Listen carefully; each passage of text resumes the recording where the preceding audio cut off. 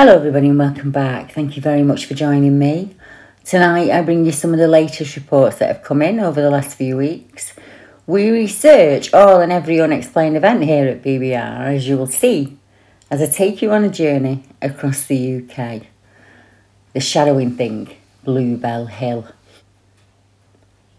I was contacted by a gentleman who lives very close to the Bluebell Hill area of Kent. And as we know, there are a number of cases of a strange, tall, hairy ape like figure that's been seen numerous times between 1946 and 1990. It's normally seen on and around the hill. Each witness described the something that they saw as a cross between a human and an ape. Witness report. A few days ago, my neighbour and I were chatting and passing the time of day when we got chatting about the strange reports on the hill. I explained the weird ape man reports, and my neighbour explained that he too had a really strange experience on Bluebell Hill many years ago. He went on to explain that he was walking from the top of Bluebell Hill down to the village using a path that leads from the lookout point at Bluebell Hill down to the Pilgrim's Way. He was out late, it was around midnight, and he was alone. He explained this was when his children were very young, so he could estimate the time would have been around 25, 30 years ago now. That night, as he was walking, he suddenly felt alert and he had the sensation that something was watching him. He said he felt afraid for his own safety that night. He couldn't shake the gut feeling that he was not alone and he was possibly in danger. He looked around the area in the hopes of seeing what was watching him, but he couldn't see anything in the darkness. He said he heard the sound of wood snapping, like a small branch being broken as something moved within the shrubs and bushes. He then quickened his pace and said he felt that something was shadowing him within the woods and that whatever it was, it was crashing through the undergrowth noisily along beside him as he moved away. At that point, he broke into a sprint, going down along the pathway towards the Pilgrim's Way. Whatever it was following him, he didn't see it, but it kept pace with him all the way down to the roadway. Now, my neighbour's local to the area and he knows the normal sounds of nature. It was a route he'd taken many times before, but he did not recognise what was making all that noise that night. He said it sounded as if it was big and powerful. And from that point on, the remainder of his walk home was uneventful. He did add that Bluebell Hill is also known for UFO and paranormal events that have taken place there over the years. There happens to be a tunnel cut into the chalk that runs parallel with the pathway that my neighbour was walking along. You can find the entrance to this tunnel in an old chalk quarry and it runs for 500 metres parallel to the pathway that you can see directly between two chalk pits or quarries. Now, our next report comes from an area not too far away from me, actually, um, and it's the Cronton Bigfoot. Hello, Deborah. I'm not sure if this is relevant to what you saw all those years, years ago, but I thought you may want to hear it. I originally come from Liverpool and I lived in Brighton for years and I now live on the Wirral. I was brought up in the 1970s in a place called Bowring Park. I remember as a girl hearing local people talk about this Neanderthal man who bizarrely is always spotted by the same bridge in a place called Cronton, which is semi rural and in Widnes. Exactly the same description that you gave when you saw your monster. She said, Last year I couldn't believe it when I was lying in bed listening to one of Tom Slemen's audio books and I again heard that very story about the Cronton Bigfoot. Apparently, she said, it's not even appearing to be that elusive because the canal bridge it is always seen by is right next to a country pub, which just seems ridiculous, I know. Well, I'd still want to investigate this. I might see if uh, Mick fancies having a ride out there and having a look. Because if it, the locals are speaking about it, it's come from somewhere, there will be a grain of truth in it. So if anyone out there knows any information on the Cronton Neanderthal man, I would be grateful if you get, get in touch using one of the links below. A strange series of clicks. This happened in spring of this year. Hi, I should start by saying although, though I've had many paranormal experiences throughout my life, I always try to rationalise them, and I would say that I deal in fact. I've lived rurally all my life and I've camped and hiked for over 20 years. I've had plenty of creepy experiences, but none compared to my experience that happened a few weeks ago when I visited the woods. I've locked all the doors in the house now because of that event and all the rooms. The woods have not been the same for me since this happened. I had argued with my partner and I'd left to go for a walk to calm down. We live in a very rural area and it's heavily wooded. It's extremely steep and it's made up of mostly old woodlands that can't be felled due to preservation laws. It's a lonely place and it's on its own along the coast and it's basically way too steep for anyone or anything to climb it.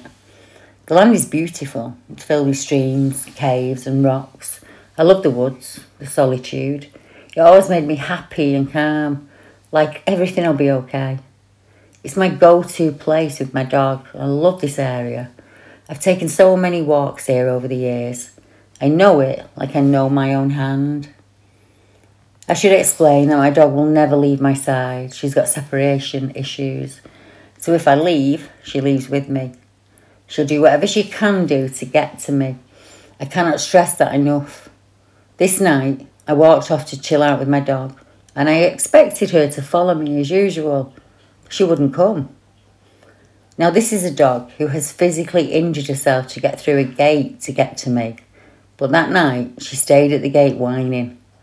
I have to say, at that point, I was pretty hurt, thinking, great, even my dog don't want to come out with me. And I started up the road thinking she would come along behind, but she never did. That is not her usual behaviour. She never passes up a chance to get out or on a deer chase. I walked to the road a few bends up and I stopped to catch my breath. I felt kind of odd. I can't explain it, so I just shook it off. And it was because I had no dog with me. I walked a bit more up the lane and I had just had this terrible feeling come over me really quickly. And I felt like I wasn't alone. It's hard to describe, but I heard the sound of movement above me. And you have to understand that this old road runs through a very steep wooded area and it was late at night and it was very dark. As I was standing there frozen, I heard a very loud series of clicks. They were extremely loud, like nothing I'd heard before. It was like when a person is clicking with their mouth. I can't explain it. There was a pattern to it. Four loud clicks from above, one after the other, like in a line, and then one sounded below me on the other side of the road, going down into the valley. They were so close so loud. The only way I can describe it was a very deep fear. I felt surrounded. It was terrifying. I could see nothing in the dark, but I knew I had to get out of there. I felt like I'd interrupted something, like I'd walked into a situation and I was not welcome. I ran back down the road and home as fast as I could.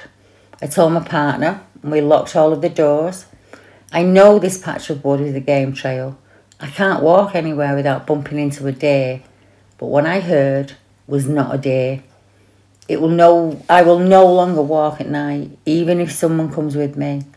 The sense of threat has terrified me. I no longer feel like the woods I love is safe. Now, I spoke to our witness on the phone at length and she asked me if they would come to the house. And I can't blame her. She must have been absolutely terrified. She stressed that she had no idea what they were. That's just how she phrased it. I explained that I felt she'd walked into a situation without realising, as the dog was clearly picking up on something that kept her in that night. We just don't know what made the clicking noise or why. Sadly, this lady is sold up and moved back to town. This incident has robbed her of her freedom and the wild places that she loves. I noticed this report happened in spring, and there are other reports close by where a werewolf or a dog like creature has been seen usually during spring. And one of those places is the is Linton, uh, the Linton Werewolf.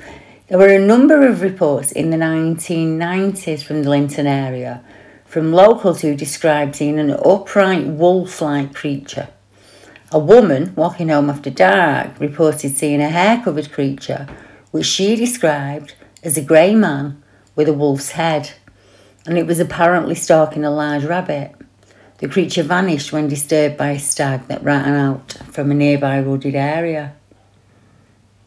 Not too far away, we have the Whistling Ape of 2013. While driving to work one morning, I turned the corner and the car lights captured a large ape like thing stepping out onto the road.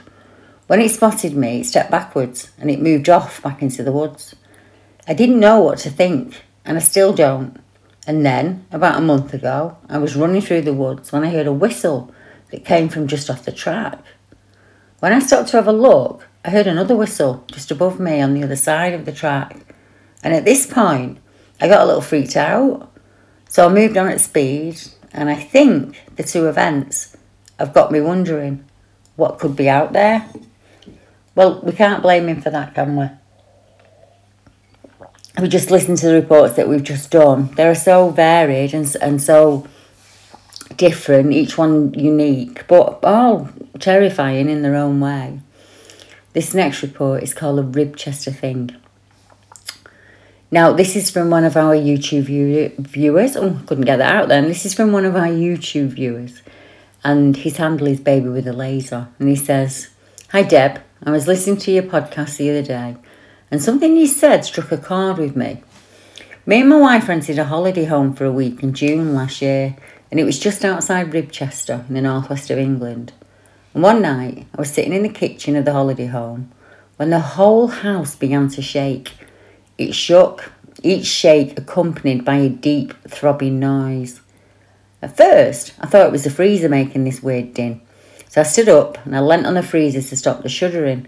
But it wasn't the freezer, and it was getting louder. I darted outside, and the noise was definitely coming from above us. I guess it was not more than about 50 feet above the house, but I couldn't see whatever was making the noise at all. I ran the, round the side of the house to see if anything slow and heavy was rumbling up the lane. I saw now there was nothing moving out there. It also dawned on me that there had been a burst pipe in the lane just outside the house, and that had been dug up that day and taped off, so only cars could just about squeeze through. I have no doubt what I have no idea what could be making that noise. I haven't heard it since. Now, the sound, he said, slowly passed overhead and it seemed to follow the direction of the lane and it was heading south towards Ribchester village. The noise appeared to stop at one point and it seemed to be coming back our way, but it just faded after a while until I could no longer hear it. He said, I've just Googled the lane and eerily it's called Gallows Lane at Ribchester. And it turns out there are a number of aerospace sites within about 10 miles of where we were staying. It turns out that there was one even closer to us with an airstrip at Mellor Brook. Um, Samlesbury Aerodrome is only about two or three miles south of where we were staying. He said that's just blown me away. That sound travelled in that direction. I have no doubt of that at all. So he could possibly have heard, and this is just speculation on my part, maybe a, weapons testing or something like that. He said, I would also like to make a report on behalf of my nephew, who was driving home from my house near Manchester Airport late one night and he was travelling down Roaring Gate Lane. As he went around a bend near the Davenport Green wedding venue, he was met by the alarming sight of a creature that he's struggling to name. He described what he saw as a giant rabbit that was the size of a Great Dane and it was moving across the road. He was forced to ram his brakes on, but it was too late, and he braced for impact. As he was clearly about to hit this thing, he waited for the thud, but there was none, and he swears that he hit it. He drove off home shaken. As he looked back and thought about it, he realised the creature appeared to have been transparent. I've been speaking to him recently, and he took me through it and explained a few details that I didn't know He said the thing was as high as his eye line and as wide, maybe a bit smaller than the width of his car. Uh, I also quizzed him on why he said it resembled a rabbit. And he told me it was shaped like a rabbit in that it was big and it had a large back end like a rabbit. Not that it had big ears or anything like that. He didn't really clock its face because it all happened so quick. And as he whipped around the bend, it was just crossing the road. Now, these new details also resemble the Tatton story of the guy that sits in his Jeep and Tatton isn't that far from where he experienced it. And he's right, it does. There was a, a skulking creature of Tatton that crawled un, across the road on its belly, and the gentleman said it had arms and legs, but it had to be a cat because it couldn't have been anything else. I recently did a live stream discussing a number of strange paranormal and supernatural reports. One of our regular listeners within the chat, and she reached out to me in email with some experiences that happened to her. And this is titled Time is Just a Human Made Concept, and it really doesn't run like we think. And the witness's name is Kelly Shaw, and she was fine with me naming her. And she said, Hi, Debs. I'm a regular listener to your show, and I like to hear the experiences people send in to you. We chatted recently about the strange coincidence between the area of your sighting and the report of the strange white being at Wythenshawe Hall. I'm researching as much as I can on the case online for you, and I'll be in touch as soon as I have new information. I've included some experiences that I had some years ago now. I lived in Manchester when this first event happened on an ordinary estate, and this experience took place in 2002. And it was the hottest of July days, and we'd reached 94 degrees that day. And by the night time, it had only cooled a little. It was still about 84. I couldn't sleep that night, and although I had to work at 9am the next morning, I was still up around 2am. I went upstairs, I opened the bedroom window, but it made no difference. There was no air moving. I lay on top of the covers in some light clothes, and no matter how hard I tried, I couldn't settle down to sleep. I tossed and turned until about 4am, and then I gave up. And I started to read a book hoping that that would help me to drift off. Around 4am, I heard a clopping sound clop, clip, clop. And I wanted to know who was out on a horse at that time in the morning.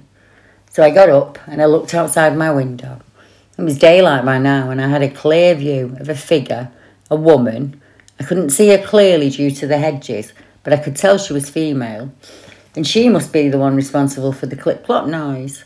I decided she must have been wearing heels, and that was what I was hearing.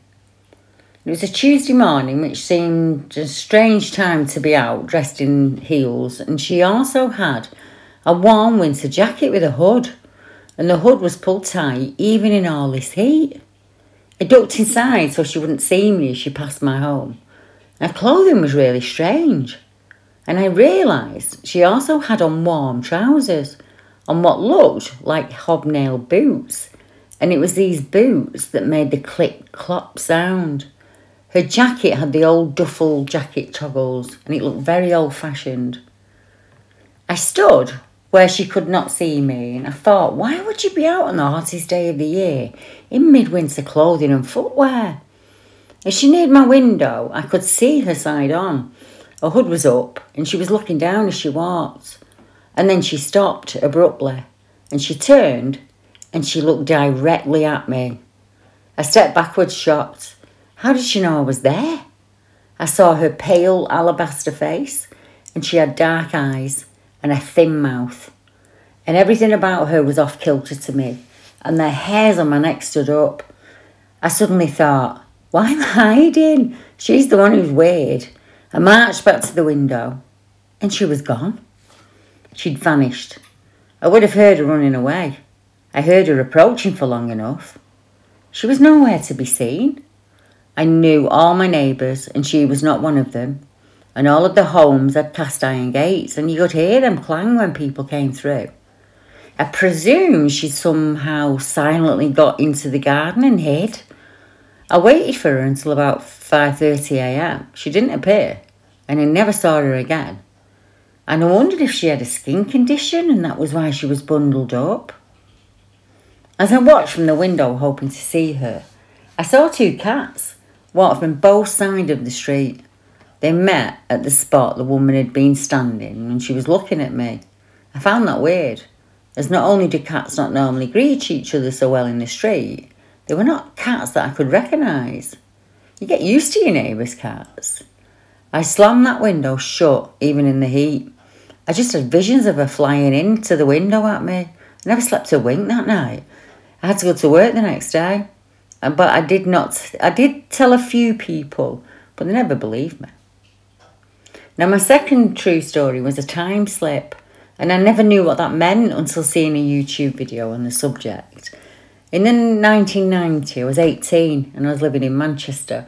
My father was 61 at the time, was driving the car, and I was the passenger. And this was in Burnage, South Manchester. It was an old barber shop run by a man the locals called Chop Off Charlie. He had dropped dead months earlier and his decrepit shop was closed. It had a rusty old grill which covered the window and it was more like a metal fence and you could see through to the shop inside. That is, if it wasn't still filled with old bags for sale and umbrellas. They were nicotine stained and they were filled the window top to bottom. Uh, not this night though. The shop had been sold and the rusty grill was gone along with the crappy bags and the umbrellas. Instead, there was a new bay window and a single light bulb inside was replaced with a fluorescent light. Two men were decorating and it looked great. My dad had his eyes on the road, so I said, Dad, you can get your hair cut soon, as the barber's been bought. Great, he replied. Driving on the next night, I'm reading the evening news and we get stuck in traffic outside the barber's. My dad nudges me and points at the shop and says, I thought you said it had been bought. I turned and looked at it, and it was still for sale. The new decoration, the bay window, and the new lights were all gone. The old rusty grills were still in place, and the nicotine bags and umbrellas were still blocking the window. I couldn't understand it. Even the old window frame was back and rotting. I said, It was completely renovated yesterday. Sure, my dad replied. Three days later, it was bought. And a month after that, it looked exactly how I saw it that night. That's why I think time is just a human made concept, and really, it doesn't run like we think. It's more like layers. My third story happened when I was night fishing with a lad called Jeff. I was 15 and we were on the River Mersey in Didsbury, Manchester. As we fished in this field, it got really dark and a storm started to blow in and it was wet, thundery and windy, and we stood out in it, but we left our rods nearby in case of lightning strikes. While the storm blew in, the horses under a nearby flyover where they were stable were whining and whinnying and making a racket. They obviously didn't like the storm. Well, we saw it out, and that was about 2.45am.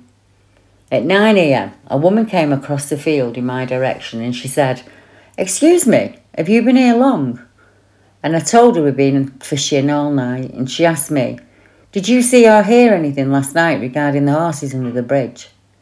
And I said when the storm came in at 2.45 they made a bit of a racket and she said, Did anyone pass you last night? And I said, No. And so did Jeff who joined me and she said, Well, I got here this morning at 8am like usual and the horses had been mutilated. Both of the horses had missing ears tails, and other wounds. And as you can imagine, we were shocked. We were sleeping very close when the attacks took place. Who would do something like that? And during a storm? And they never did find out who or what did it. The last experience I want to share is very strange, and it was related to me by my late father, but it involved my grandfather, my grandmother, my aunt, and my uncle. My grandfather was called Herbert Coombs. He was in the Manchester Regiment at the Somme. He didn't speak about it, apparently because he lost all of his friends there. My nan was called Ada. My father was born in 1931 and he was one of 14 kids. This incident occurred before he was born in the early 1920s. My granddad had survived the Battle of the Somme, but he was also injured by shrapnel and he returned home with wounds. He had to find work regardless of this when he returned from the First World War. So he became a window cleaner and he settled down in Stretford near the Bridgewater Canal. My grandparents lived in a terrace house with two kids at this point Ken, aged five, and Joyce, aged four. Every night the kids was rushed downstairs, claiming the wardrobe doors were opening and closing on their own. And as they screamed down the stairs, the next door neighbour would hammer on the wall due to the noise. This happened every night, and my granddad would see them to bed and show them that there was no bogeyman in the wardrobe, but it didn't get better. Then the kids started running downstairs, screaming, each saying something had ripped the blankets off the bed that they shared. Every night the wardrobe opened and the blankets went flying, but my grandparents didn't believe them. The neighbour kept hammering on the wall because of the noise, and my granddad feared being reported and evicted. Seeing the kids to bed again, he went next door and he apologised, saying the kids were playing up and that they'd been told to behave, so you can stop knocking on the walls, it's driving us mad. And the old man replied, I thought it was you knocking. I thought the war had sent you and had been too afraid to say anything. He said the noise was coming from the chimney stack they shared. My granddad went white. He suddenly realised there was actually something in the house. He came back in he didn't tell my nan what the neighbour had said. He just assured her that everything would be fine. That night, with the kids finally asleep and my granny in bed, he sat downstairs by the coal fire. Suddenly, the room grew cold, and he felt a presence behind him. And in broken English, a German voice said, I'm a German soldier, you shot in the war. Don't turn around because I'm not a pretty sight, but I just want you to know that I bear you no malice. My granddad was petrified, and no way was he turning around. The German added, Tomorrow night I will meet you here by the fire and shake your hand. And if you do this for me, then I'll go and the room grew warm again, and my granddad ran upstairs to cower under the covers. My granddad spent the night under the covers until daylight, and the next morning, leaving everything behind, he moved them all out and into another house near Manchester United ground. He swore that if he'd met the German by the fire, then it would have been the last thing he ever did. Personally, I wonder if it was PTSD but it doesn't explain the kids' wardrobes or the blankets being pulled off every night or the hammering in the walls. My father asked him years later if he could have killed a soldier. My granddad said, Yes, I shot people in the German trenches. We all did. It was war. Not too far away, there's an area called the Countess of Chester Nature Reserve and I received an email from a BBR member who experienced a really strange time slip when she was out walking with her partner. We've just this minute returned from our usual walk around the Countess Country Park and I've experienced something we simply cannot explain rationally. We were approaching the old Knowles Bridge above the canal path and we passed two girls strolling along chatting. I took a good look at them as we passed by as they caught my interest.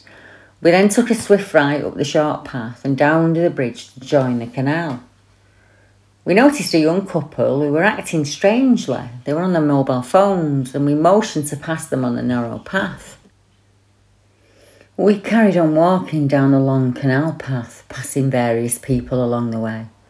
I looked up and I noticed in the distance the same two girls wandering along chatting the same girls we'd seen coming this way when we were on the bridge.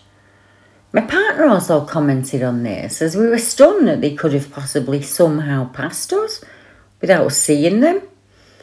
There is no conceivable way or route that, that they could have taken to get to that point.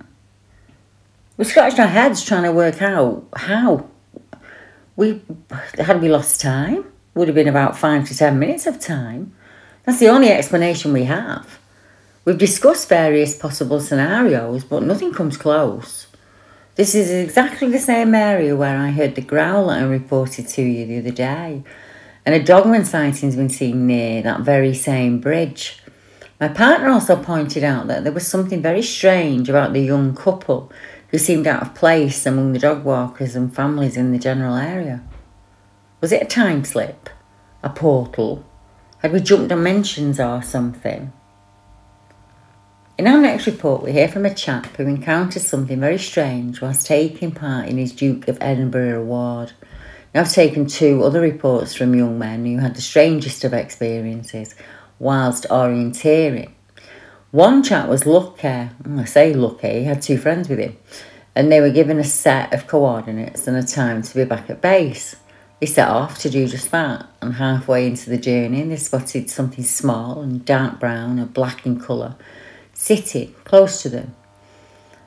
There was a strange little man he was wearing strange clothing and he had, was the same colour all over. He had a small bow and tiny arrows in a sheath. And as the boys ran off, one of them was hit in his lower back. And when he turned to see what had hit him, he saw a tiny arrowhead. Now, the strange little man that had shot at them, he just was all one colour. Now, the man still has that arrowhead, and it's in a leather pouch around his neck, and it disappears from time to time, but it always returns unexpectedly. And I've actually seen it. I had it in my hand when we were at Cannock the first time we ever met there. Um, and it was intricate, it was absolutely beautiful. The second chap I spoke to was learning to canoe. And he was not doing very well and he lagged further and further behind these strong paddlers. Now, he still had his friends in sight, and there was a youth guide with them, and one a little bit behind for stragglers like him. As he turned a bend in the river, um, he was for a moment alone. He looked into the water and he saw a strange face looking back at him. Not a beautiful mermaid of myth, but a water hag of some kind. She was shriveled and rotten, and she beckoned for him from the dark water. And he was absolutely frozen on the spot, which worked in his favour. As he was about to pass out with fear, the youth guide who was behind him came up, and she, the hag swam deeper into the darker part of the river. He told me, even though it was 25 years ago, he still does not walk near dark water alone. Our next witness encountered a very strange man indeed when he was with his friends um, that he met on the Duke of Edinburgh award scheme. He said, I'd like to tell you about something that happened to me back in the 90s. I was probably around 18 or 19 at the time. I used to go walking with a group of friends from school. Um, we'd all done our Duke of Edinburgh award scheme together, and until we went to university, we still went walking together around the Greenfield area, as it was easy to get to by bus from where we lived in Oldham. In fact, back then, an under 18's day saver was only a pound. I'd seen a route for a two day backpacking trip um, in Trail Walker magazine that went from Greenfield to Crowden and back again, taking in a rock called a Trinnacle on the last day. Now, the route also went past a memorial cross at Ashway Gap. The magazine explained that the memorial cross was in memory of an MP who was shot in 1857. So on that day, we walked around the reservoir, Dovestones, Yeoman Hey and Greenfield, and after a short scramble up Birchen Clough, we'd arrived at Ravenstones. And it was cloudy, but also a lovely sunny day.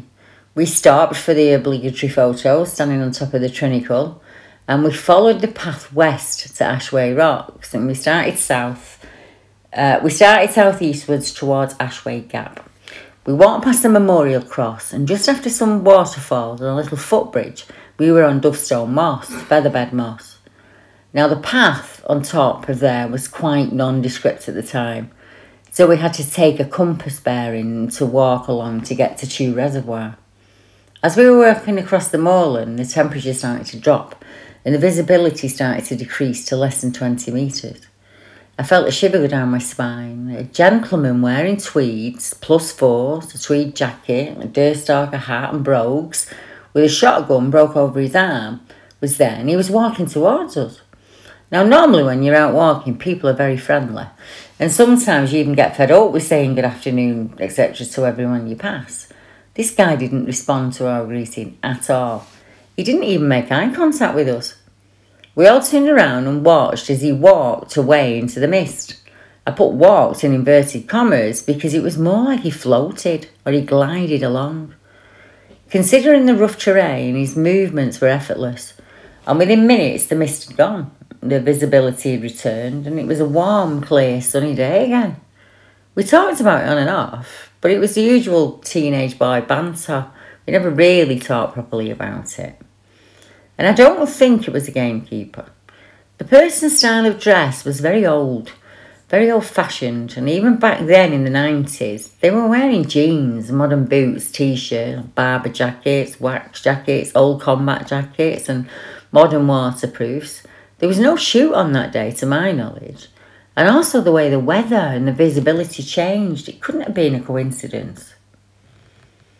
Our last report tonight is also our most recent, and I ask permission to share this with you as it's a very personal story, as all of our stories have been tonight. I've spoken to people before who described seeing someone whose eyes were completely black, so I can attest somewhat to the level of fear that it instills. To see something that is almost a facsimile of a human must be horrifying. I cannot imagine what I would do if I was faced with an almost human with the blackest eyes that you've ever seen. How on earth do you deal with this as a child is beyond me. And my heart goes out to our next witness. Hi Deborah, I'm contacting you regarding an experience I had many years ago that still haunts me to this day and I'm curious if you've heard anything similar. I grew up in the northwest of England, and this incident happened when I was 9 or 10 in the mid 1980s, as far as I can remember.